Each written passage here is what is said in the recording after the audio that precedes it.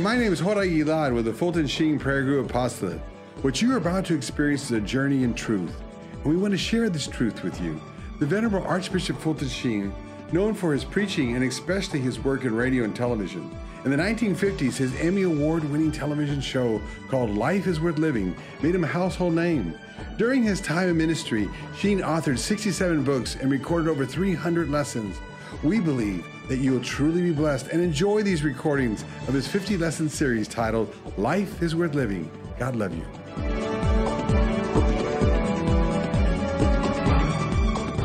Last week, in lesson 13, Christ in the Creed, Birth, the lengthening shadow of the crossbars, Sheen discussed that the cross was not an afterthought and that Christ had to be lifted up on the cross for man to be saved.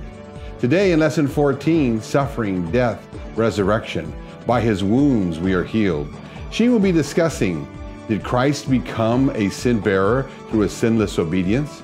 Are the wounds of our risen Lord important to our salvation? You're going to love today's program and discover that life is worth living. God love you.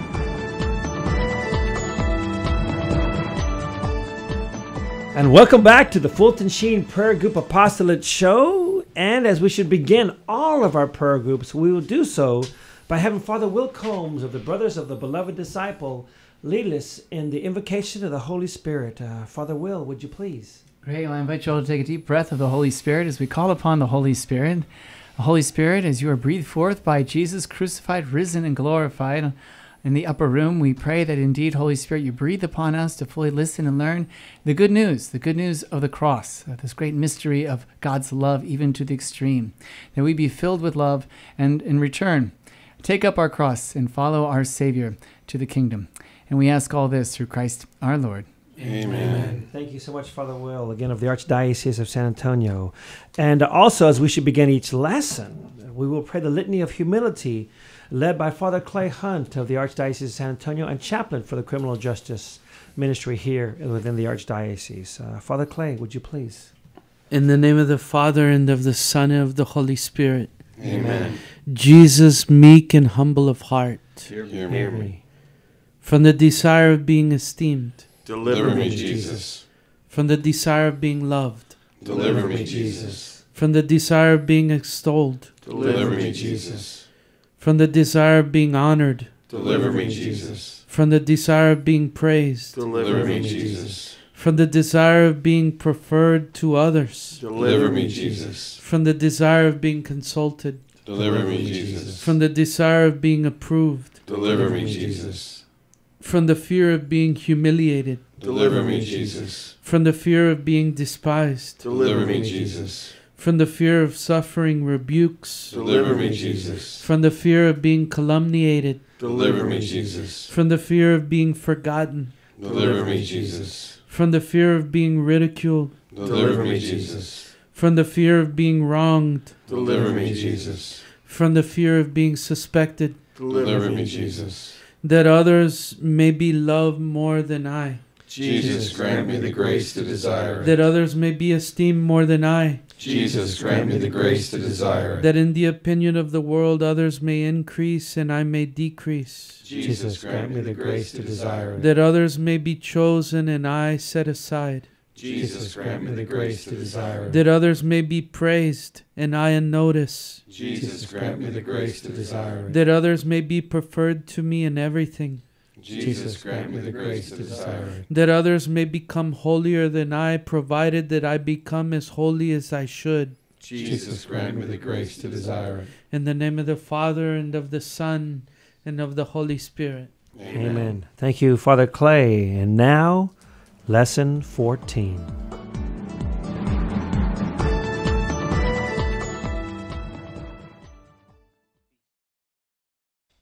Peace be to you. In this lesson, we continue the Creed, which links together the birth of our Lord, His cross, and His resurrection. We consider in this lesson particularly His sufferings and resurrection. And we begin with the agony of our Lord. Here we are dealing with a great mystery. Our blessed Lord suffered mentally, and physically. We touch upon first his mental sufferings in the Garden of Gethsemane. The time was immediately after the Last Supper. There is only one recorded time in the life of our blessed Lord when he sang. And that was after the Last Supper when he went out to his death. He then told his apostles that they would all be shaken during this hour. Remember that our Lord always spoke of his crucifixion and his sufferings in terms of hour, his glory in terms of day. Evil has its hour, God has his day. As he entered that garden into which he had often gone to pray, he told his apostles that they would be scandalized in him that night because the shepherd would be struck. And they were scandalized indeed. For a short time after the agony, they fled. But he told them, however, when he went in, I will go before you into Galilee when I have risen from the dead. Such a promise was never made before. That a dead man would keep an appointment with his friends after three days in the tomb. Though the sheep would forsake the shepherd, the shepherd would not forsake the sheep. As Adam lost the heritage of union with God in the garden, so now our blessed Lord ushers in our restoration in a garden. Eden and Gethsemane are two gardens around which revolve the fate of humanity. In Eden, Adam sinned. In Gethsemane, Christ took humanity's sin upon himself. In Eden, Adam hid from God. In Gethsemane, Christ interceded with his Father. In Eden, God sought out Adam in his sin of rebellion. In Gethsemane, the new Adam, Christ, sought out the Father in submission and resignation. In Eden, a sword was drawn to prevent entrance into the Garden of Eden and thus immortalize evil. In Gethsemane, our Lord told Peter to sheathe the sword that he had carried. Now, there are two elements that are bound up together in this agony sin bearing and sinless obedience. He goes far from his apostles, about as far, the scriptures say, as a man could throw a stone. What a curious way to measure distance. our Lord threw himself upon his face, saying, My Father, if it be possible, let this chalice pass me by.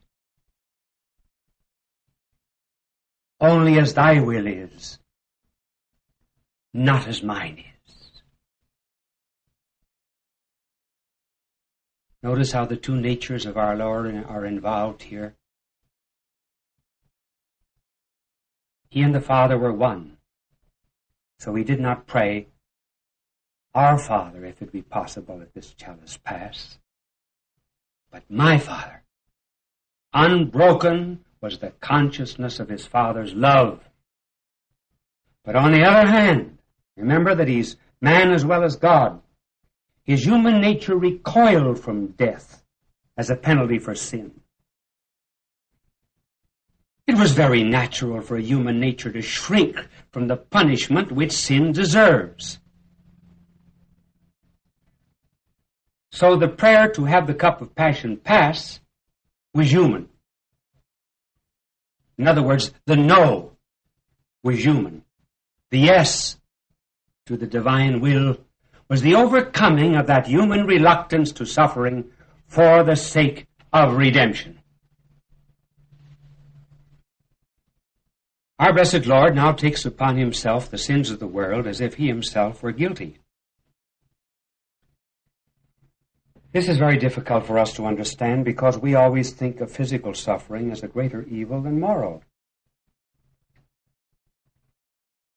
Furthermore, we become so used to sin, we do not realize its horror. The innocent understand sin much better than the sinful. The one thing from which man never learns anything by experience is sinning.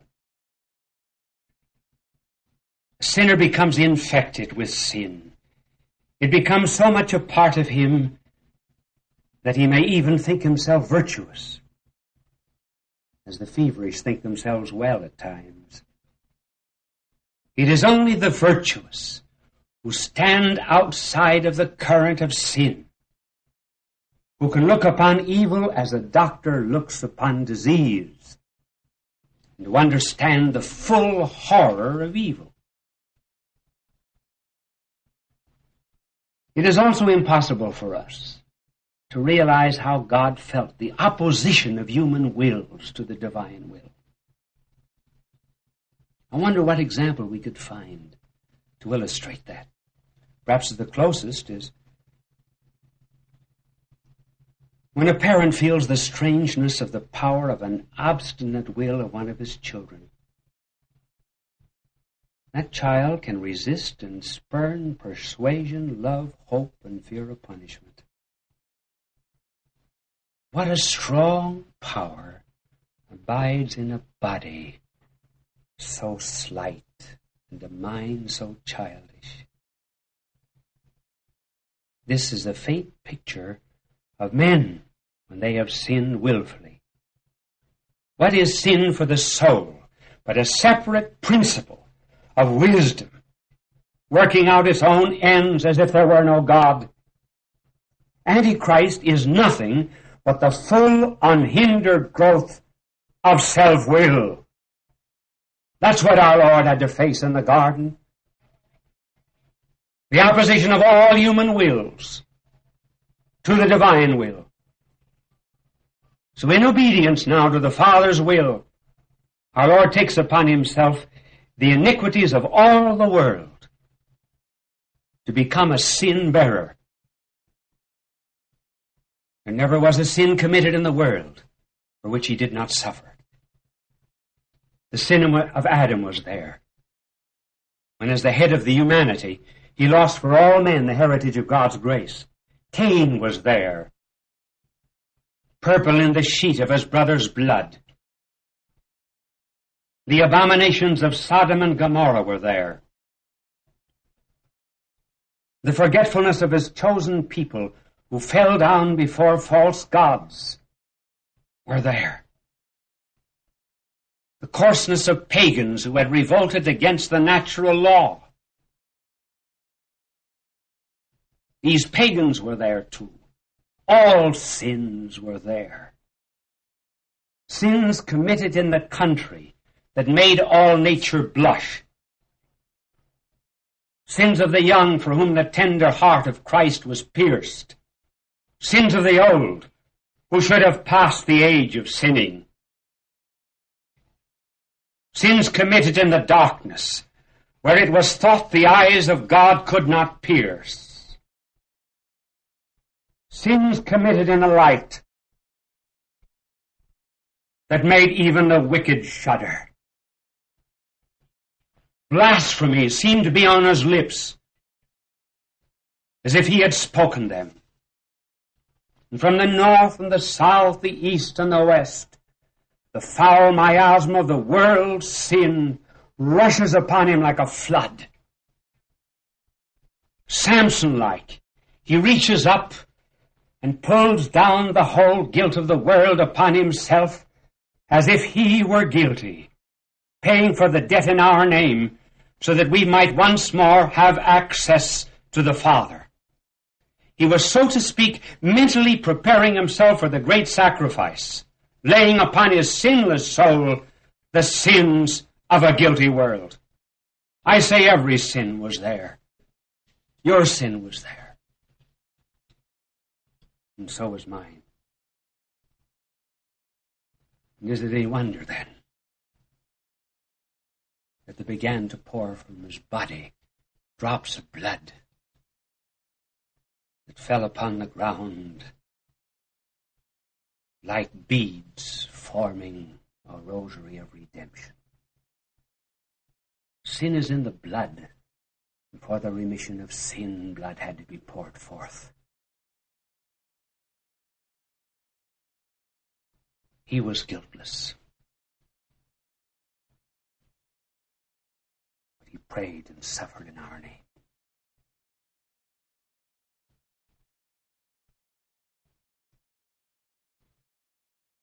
Then came Judas.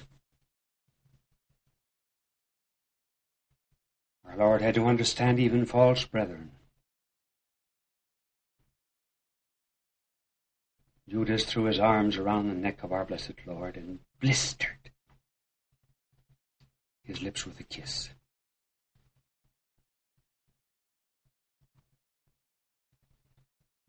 Our Lord is now made a buffoon during the night,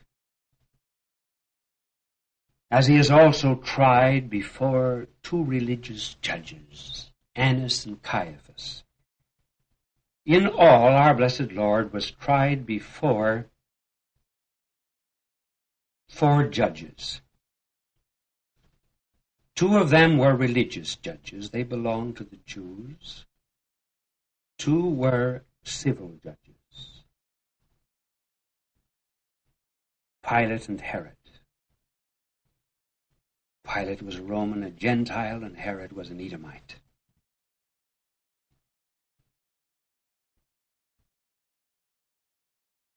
The judges could not agree on why he should be condemned.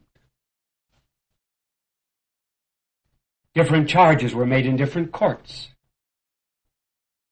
In the religious court, our blessed Lord was condemned of blasphemy.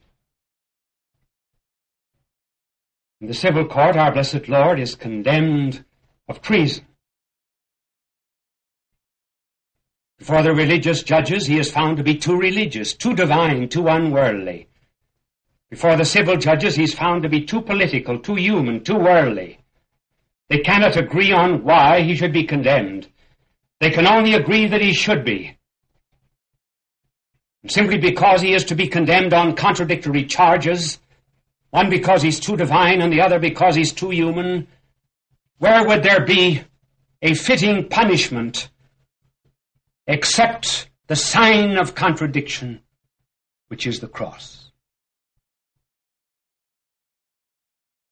Let us take a brief scene from each of these trials. Trial before the religious judges. Caiaphas was unable to find any reason why he could condemn our Lord. He introduced false witnesses, but the witnesses could not agree among themselves. Caiaphas finally resorted to an oath. He put our blessed Lord under it, and with all of the sternness that he could muster, and annoyed by all the contradictions of the witnesses that he had heard, he said to our blessed Lord, I adjure thee by the living God to tell us whether thou art the Christ, the Son of God.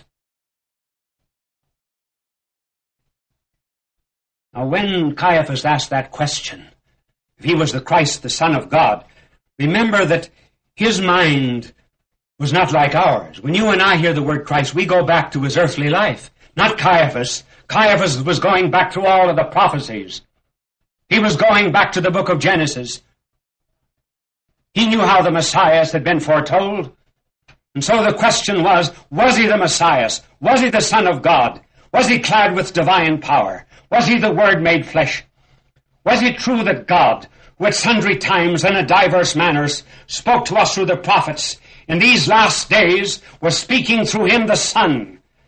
And so he asked, Art thou the Son of God? And our Lord answered, I am.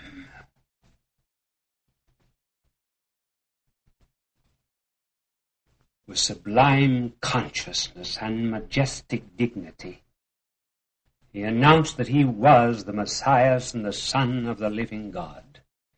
And when he said, I am, I'm sure that Caiaphas remembered that when God spoke to Moses on Mount Sinai, those were the words that God used of himself. I am am.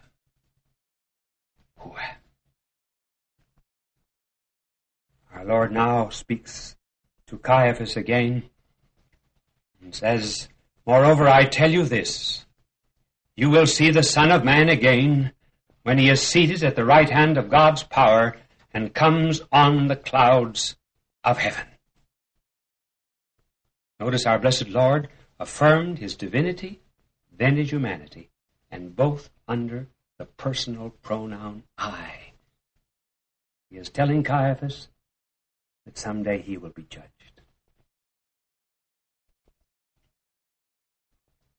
Caiaphas now finds, finds our blessed Lord guilty. He rends his garments as a token of the fact that he had heard blasphemy because Christ was making himself God. But Caiaphas, the Sanhedrin, and the people could not put our blessed Lord to death. That power belonged to the Romans. And so they hustle our blessed Lord as the prisoner off to Pilate. He has several trials before Pilate, and Pilate sends him off to Herod. But it is interesting to note the charge that is brought before Pilate against our blessed Lord. In the trial of any ordinary human being, there is a continuity of charges. Our blessed Lord was found guilty of blasphemy. Now, when the prisoner is brought to a higher court, you would think that he would still be condemned of blasphemy. But he is not. Why not? Well, because if Caiaphas and his friends told Pilate that our blessed Lord had made himself God, Pilate would laugh at them. Pilate was a pagan. He would say, I have my gods. You have yours. I sprinkle incense before mine every morning. They therefore had to find some other charge. Now the charge that they would bring against our blessed Lord would be treason. He would be too political. He would be too human. He would be too earthly. It must be remembered, too, that Caiaphas and the Sanhedrin hated the Romans. The Romans had conquered their country. Roman judges were seated in judgment. Roman coinage was in their pockets. Caesar's ensigns were all over the city of Jerusalem and all through the land that was holy. They hated the invader. They hated Rome. Now when they bring our blessed Lord before Pilate and he asks what charges do they bring against the man, they said that they had found him guilty of perverting the nation, refusing to give tribute to Caesar. Imagine. Refusing to give tribute to Caesar.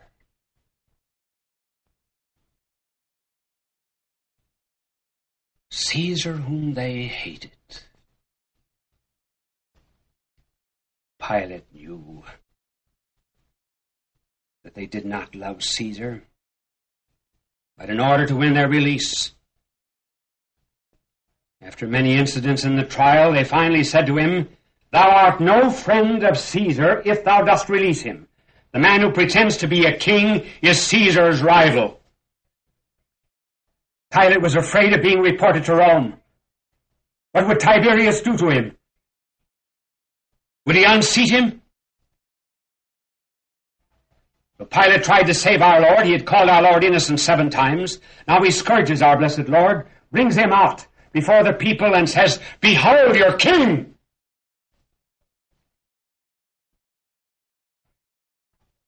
And up against that marble balustrade there came a wave of voices saying, We have no king but Caesar.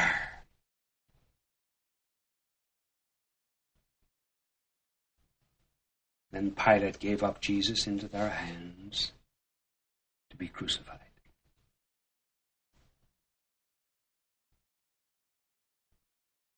Our Lord is now led to Calvary. Once on those heights, he offers his hands to his executioners, hands from which the world's graces flow. The first dull knock of the hammer is heard in silence. Mary and John hold their ears. The sound is unendurable. The echo sounded as another stroke. And then the cross is lifted slowly off the ground. Then, with a thud that seemed to shake even hell itself, it sank into the pit prepared for it. Our Lord has mounted his pulpit for the last time. He spoke seven words. That is to say, seven times. We cannot give you the seven words for want of time, the first word of our blessed Lord was for all who had crucified and all who had brought him to death Father, forgive them. They know not what they do. It is not wisdom that saves, it is ignorance. And then, after hanging three hours on the cross, our blessed Lord now prepares to surrender his life. Remember that he had often said, No man takes my life away from me. I lay it down of myself. It is to be noted, therefore, that when our blessed Lord came to the seventh word, the scriptures say that he spoke those words in a loud voice to show that he was the master of his own life. Just as planets only after a long period of time complete their orbits and then come back to their starting point as if to salute him who sent them on their way. So now he who is the prodigal son who left the father's house, wasted his life and his blood for our sakes, is preparing to go back home, and he lets fall from his lips the perfect prayer. Father, into thy hands I commend my spirit. There is a rupture of a heart through a rapture of love. He bows his head and dies.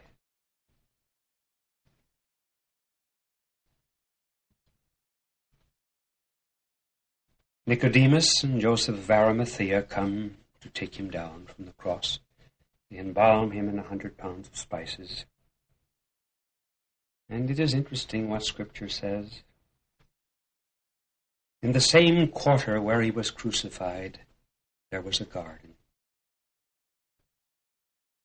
The word garden hinted at Eden and the fall of man, as it also suggested through its flowers in the springtime the resurrection from the dead.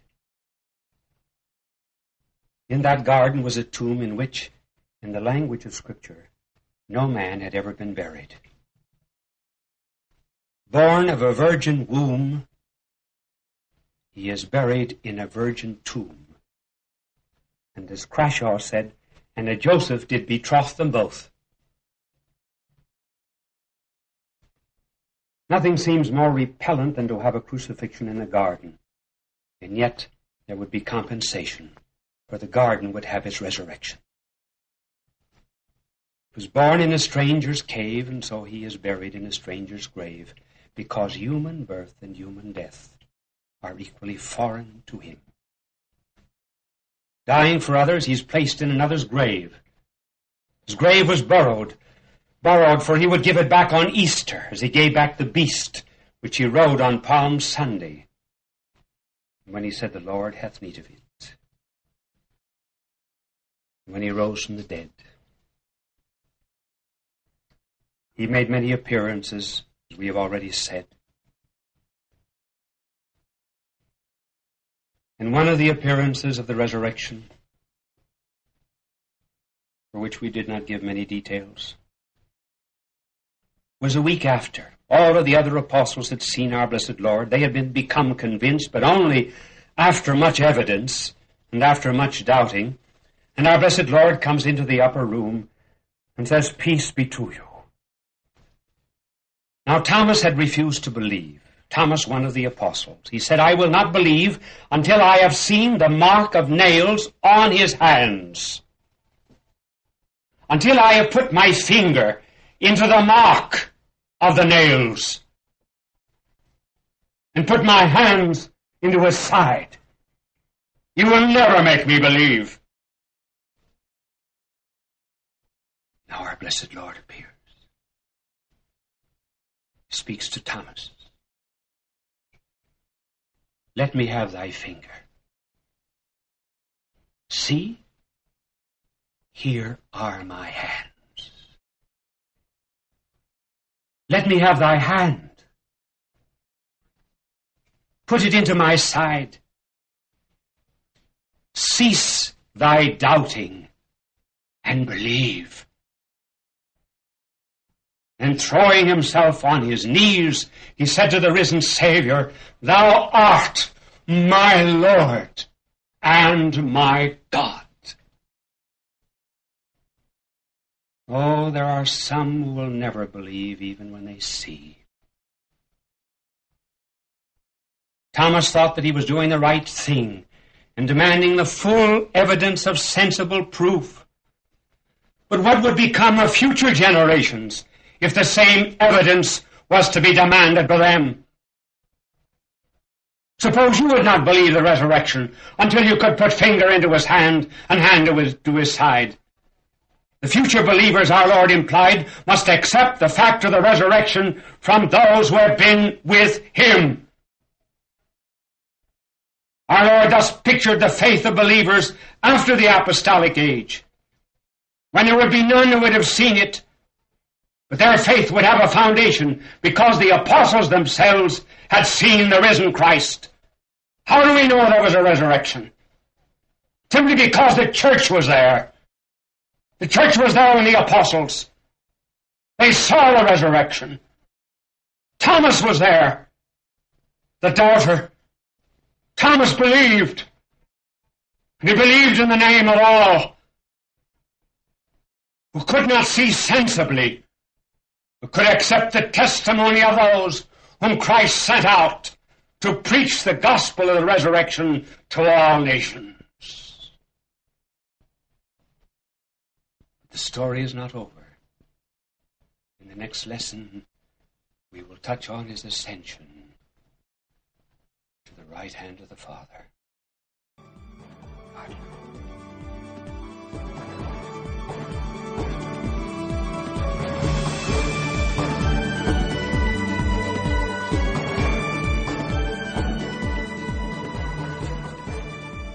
The story is not over. Wow. Again, if you're just tuning in to us, you're watching uh, Life is Worth Living with Venerable Fulton J. Sheen. And we're about to hear some amazing words coming from Father Will Combs. Father Will, please share with us. Great joy. Isn't it beautiful? That again, in the creed, we see the seed. The seed, uh, and from the seed comes the tree, the tree of life. Let's take a look at this great, profound comparison he makes between these two gardens of, of, of Eden, which means delight, and Gethsemane, which means the olive oil press. And truly, Jesus was so pressed, out came the olive oil, beautiful sign of the Holy Spirit. Through the cross, the tree of life, comes the Holy Spirit. He was a stone throw away, means that he's set apart. He is the holy of holies. He is set apart. And yet we also see in the in the Garden of Eden, it's not good for man to be alone. And so Jesus is saying, "Stay with me and pray with me," as they fall asleep. While in Eden, we have Eve and Adam reaching up to the tree in great pride and exaltation to be like God, to be their own God. we see uh, instead that Jesus throws himself down to the ground in great humility. And of course, that's where the thorns and thistles will be from the curse of, of the original sin. And of course, Jesus the next day will be having a crown of thorns. We see that Eve is talking to a fallen angel while a, a blessed angel comes to comfort Jesus in his prayers. We see that the curse of original sin is the sweat of your face, and it's from Jesus' face he sweats blood, and it's the blood that purifies. And blessed are the pure, for they shall see. And he says, beautiful quote, that the innocent understand sin much better than the sinful because they can see. And it's by his blood we have the power to become pure again, to become a new creation, a new Adam. And that's what Adam means. A new humanity is Jesus. So let's go deeper into this garden, the Garden of Gethsemane. We see that it's while Adam and Eve say, My will be done. And again, he's taken this to a whole new level, Archbishop Fulton Sheen. That's the Antichrist when we say, My will be done. As they, everyone in hell says the same thing, I did it my way. you know, and we're called to do it God's way. Jesus is the way, the truth, and life. Not, not self-will, but divine will. And that's this beautiful prayer. So he defeats original sin he defeats the sin of Garden of Eden with the Garden of Gethsemane prayer Father, thy will be done. And not once, not twice, but three times. Because three times Eve was tempted, for it was good for food, delight to the eyes, and desirable to make one wise. And so, three times, and Jesus is saying, Not my will, thy will be done. He says, The soul is in great torment unto death. The spirit's willing, but the flesh is weak. And we are body, soul, and spirit. And these three must be in agreement according to God's will. But when we're not, when our beliefs and our behavior don't match, we don't have peace. It's called cognitive disorder. It's the brain, belief, and behavior. Are we going to do what we should? Or are we going to do what we want? And so there's a huge battle, as we see in Scripture, between the spirit and the flesh. This is big, huge battle is going on in our own lives. And we have to just choose. Are we going to be choosing the Garden of Eden, which means delight, all about me, my will, or the Garden of Gethsemane to be pressed like Jesus, and now pours the Holy Spirit when we pray and live, Thy will be done. And so there's this battle in some senses between belief and behaviors, like between the divine and the human. So Archbishop Fulton Sheen speaks a lot about the divine and the human, and he's able to integrate the two into one by making the human completely submissive and obedient uh, to, to the divine, to the will of God. And so, my will be done. We see that the, all the apostles fall asleep.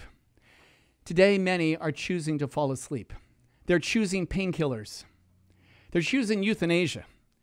They're choosing suicide. They're choosing all kinds of forms of, of drug abuse because we're afraid of pain. We're afraid of suffering. And it's, again, it's Jesus who comes down saying to us, Do not be afraid to suffer with me. It's in this suffering with Jesus we find perfect love, perfect joy, and perfect freedom to be detached from all that keeps us bound. We see in the presentation of Jesus this foreshadowing of his own offering two offerings, the two turtle doves, which according to Leviticus, Leviticus chapter 12 is the sin offering and the burnt offering. And that's what we are called, just like Jesus, to be sin bearers, to intercede, a sin offering. We offer ourselves for the sins of humanity. Father, forgive them. And also, a burnt offering means a holocaust, a complete offering with Jesus. Thy will be done, spirit, soul, and body. And, uh, and by this complete surrender, we come then to the great garden. Uh, from, of course, the tree of life is the cross. And then this new garden is the garden of the resurrection, when God makes all things new. So, um, hallelujah. Let's go this great journey from one garden to the resurrection. That was awesome. Not my will, but thine be done. Thank you so much, Father Will. It was awesome. I'm going to have to replay this and listen to that over and over. uh, Phil, uh, please share with us what struck you. Well, I'm also taken to the garden, and I think Bishop Sheen does such a incredible magical job of putting us there. He puts us there, uh, and we can see it. We can see it. He says the no was human, the yes was divine. And he's showing us, as Father Will said, the two natures of Jesus. Uh, the, we, we feel that too. our no's are human. We say no to God, and that's our human selves, right? We need to say yes, and that's the divine reaching out to us. He says yes to divine will, overcoming that human reluctance to suffering for the sake of redemption. He overcomes it for the sake of redemption. He also does it for love because he loves us so much. And uh, we don't like suffering. Us humans, we don't like suffering, right? We want to we want to escape suffering. Uh, Father Will talks about pain. We want to get rid of the kill the pain, uh, but suffering can be so good for us, right? It's it, we can use it for such good things, for divine things. Uh, I do love this line that he says The one thing from which man never learns anything by experience is sinning. Ain't that the truth? We don't become better sinners, right? Uh, he, he says something very important, he, and it's an essential truth of our faith. But he says, paying for the debt in our name so that we might have access to the Father. And it's a fundamental truth, but I think it's a truth that e- even us Catholics don't don't really grab onto. They don't understand it. It's just a uh, an article of faith to them. They don't understand that he had to do this in order that we could get back, get back to see the Father, get back to heaven, uh, and you know, I, I love our ecumenical uh, uh, teaching that says that everyone, you know, there's other paths. We, we say by God's mercy, mercy, there's other paths. But this is the path that people need to know about. He died for us to give us access to the Father. Love that. Love that. Thank you, Phil. Gregg, Gregg Weston, how about you? Share with us, please. I'm going to spend a minute and, and just stay with the human will versus the divine will and and just realize that um, Jesus was human and he was uh, though divine he had the his humanity to in, encounter. And I was just so struck in this in this case where it said it said um, uh, notice how the two natures of our Lord are involved here. He and his father were one so that he did not pray our father. He said my father. Unbroken with the conscious consciousness of his father's love on the other hand, remember he is the man as well as God. Human nature recoiled from death as a penalty of sin. So the prayer to have the cup of passion pass was human. In other words, no was human. Lord, is there really no other way to do this? But I think from last week, I even remember um, how it was a function of he came to die. He didn't come to live, he came to die. Thank you. Amen. Yeah, so your points were right in line with with theirs. Great way to follow them. And he did come to die so that we could all live. Thank you for that uh, so much, Gregg. God bless you. You know, I, what amazed me on this one was I've never heard Archbishop Sheen so passionate. His voice was so different than this one, and he actually I was paying attention more. And I, again, I'm not kidding. I'm going to hear this one over and over. It did strike me. Um, I love the contrast between the gardens. I'd never, never paid as much attention to that until this time. The way Sheen shared that, as Adam lost the heritage of union with God in the garden, so now our blessed Lord ushers in our restoration in a garden. In Eden, Adam sinned.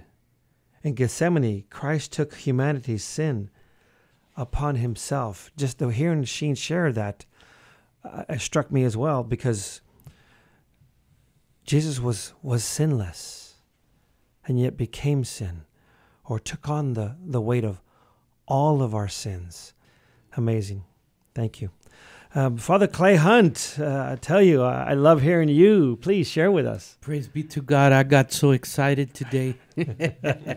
I love Archbishop Fulton Sheen. What a what a magnificent blessing in the truth which is singular that he's able to communicate to us. We thank God for for such a champion that the Lord has given to the church. And just like unto Christ you're going to see that there will be those who try to accuse him to uh, to slander his name to bring charges against him. But uh, obviously it's like the Lord himself said by their fruits you will know them and truth rings from this man's teaching like like the liberty bells that that ring to freedom. And so we praise God. Uh, we love Archbishop Fulton Sheen.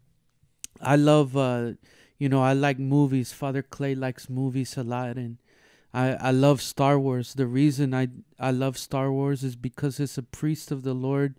I'm a full grown Jedi Knight, but uh, we recognize that actually Archbishop Fulton Sheen is a Jedi Master. Man, that guy is something else, and it's magnificent to to be able to make these connections and to understand that, uh, in fact, it is only through the cross that we come to glory. We anticipate to glory as Christians. We follow Christ, and sometimes, you know, I know people struggle a lot with the understanding of suffering and question why? Why is it this? Why is it that? But it's absolutely necessary uh, that in order to be with the Master, we have to follow after the Master. And suffering, although disagreeable, is very magnificently purifying, and it brings us to uh, to uh, healing. It brings us to uh, to atonement.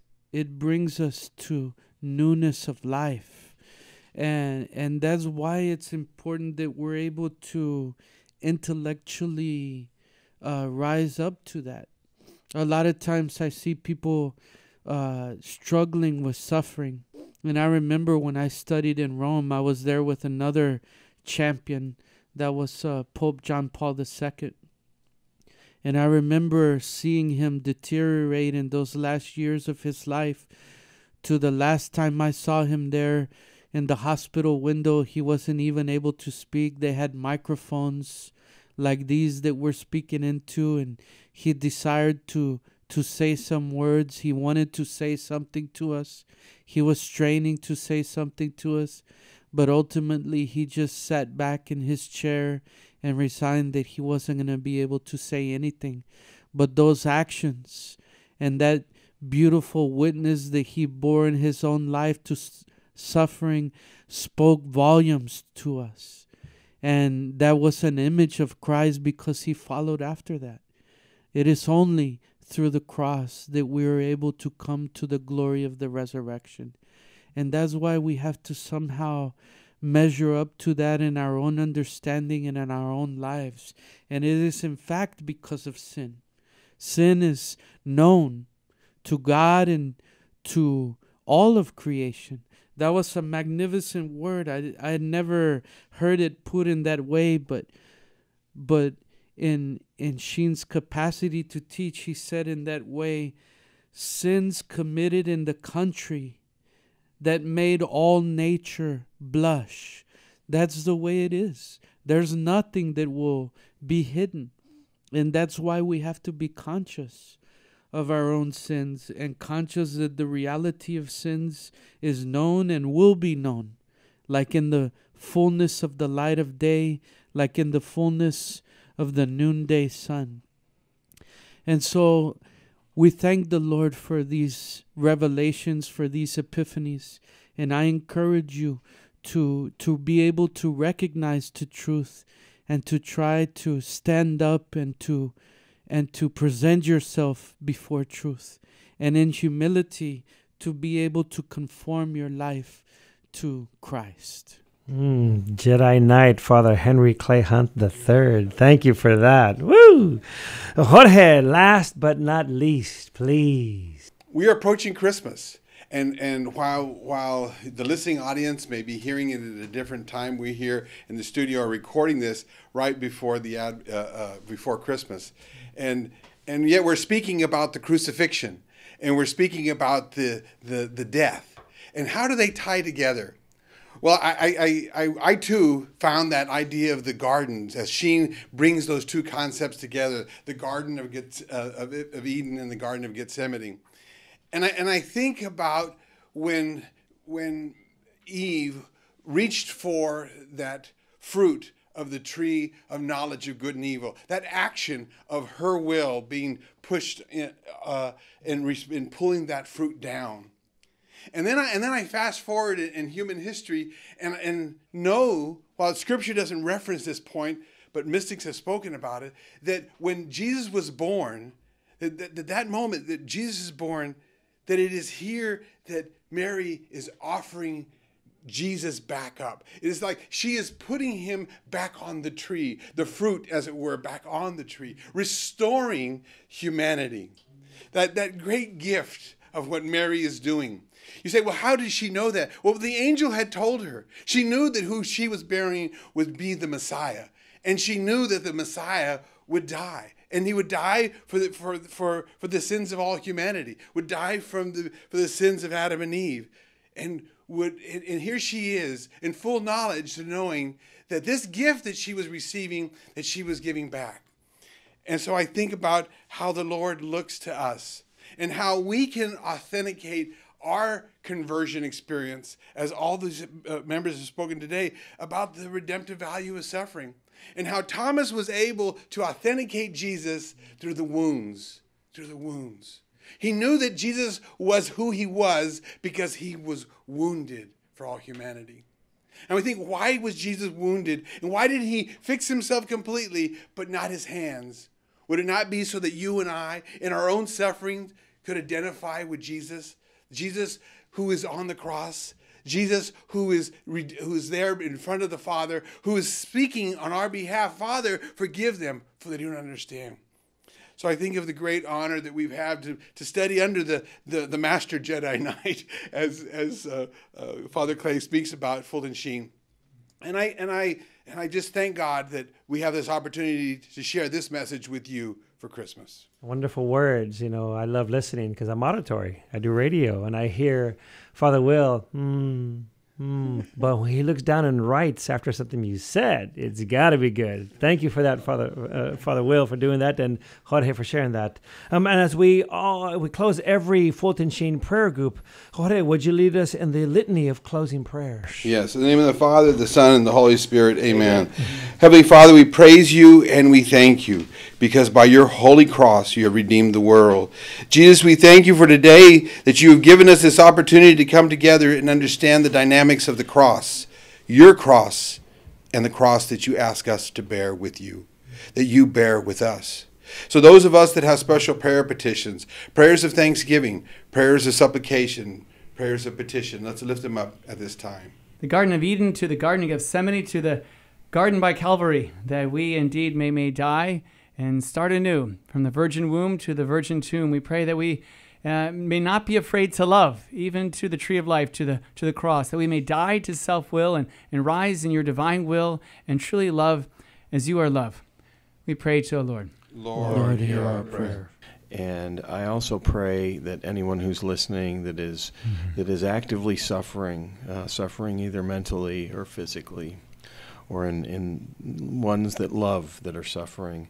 I ask that you persevere and remember that that mm-hmm. suffering has salvific uh, mm-hmm. importance, and I ask you to turn to Jesus yes. and lay it up uh, at the foot of the cross. We ask this. Uh, uh we pray to the Lord. Lord, hear our prayers.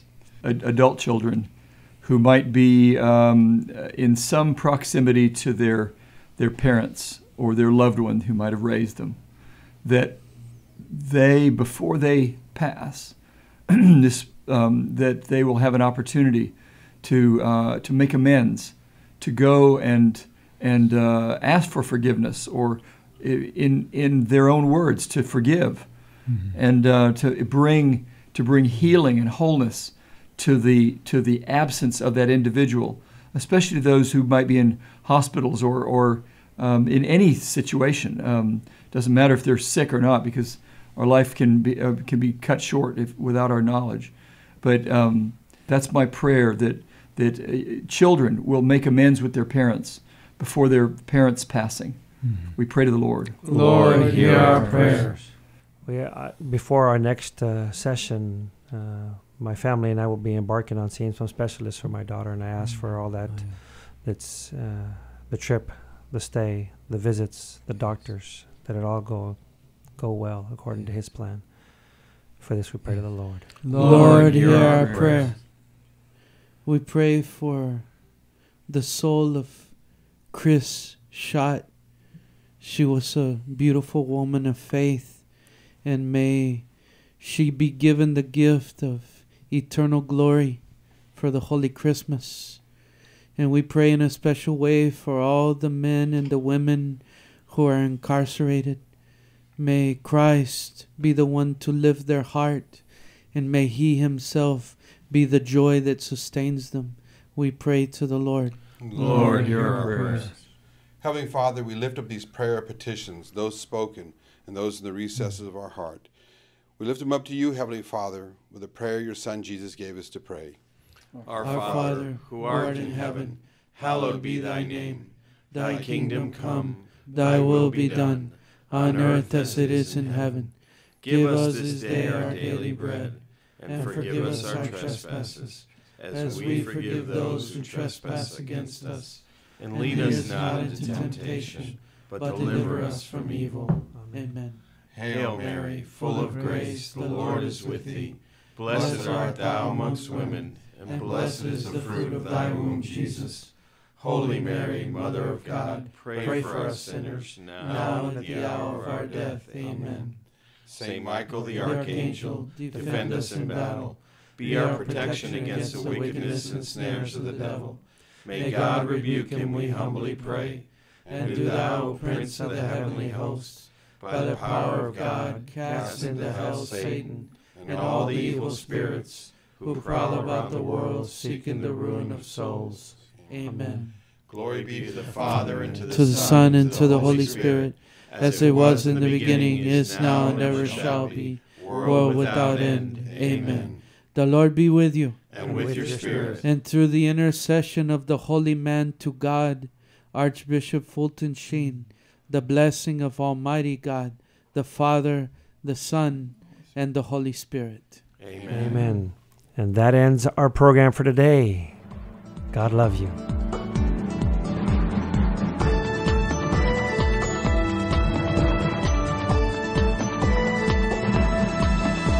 Today in Lesson 14, Suffering, Death, Resurrection, by His wounds we are healed, Sheen discussed Christ became a sin bearer through a sinless obedience, and the wounds of our risen Lord were important to our salvation. Next week in Lesson 15, Ascension Beyond the Space Age, Sheen will be discussing Is Christ's incarnation linked to his ascension? Did Christ ascend to heaven with his human nature intact with his divine nature? Don't miss next week's show when Fulton Sheen takes us deeper into the understanding that life is worth living. God love you. Beloved family, I want to challenge you to gather together in small groups. This is what the church needs. The church began in the house of Nazareth, and then it grew in the upper room, and they continue to meet in homes as well as in the temple. It is so important we gather together in the name of Jesus. And that's what's so great about this venerable Fulton Sheen uh, faith sharing group is to gather together to call on the Holy Spirit, a litany of humility, a humble heart, so you can listen and learn. God speaking through this wonderful servant. These 20 minute talks, there are a total of 50 of them, philosophy of life. And by gathering together, a total of 50 times, and sharing the faith together and sharing your own personal journey together and praying together, the Holy Spirit, there's Jesus in your midst. And it's a powerful way to be transformed so you can transform the city and the world. It only takes 10 people to save a city. And you might be one of them. How is God calling you to gather together a small group and hear and live the good news? Please join us again for another lesson from Archbishop Fulton Sheen. You can also listen to lessons and read transcripts at your leisure by visiting the website theuniversalway.com. That's theuniversalway.com. God love you.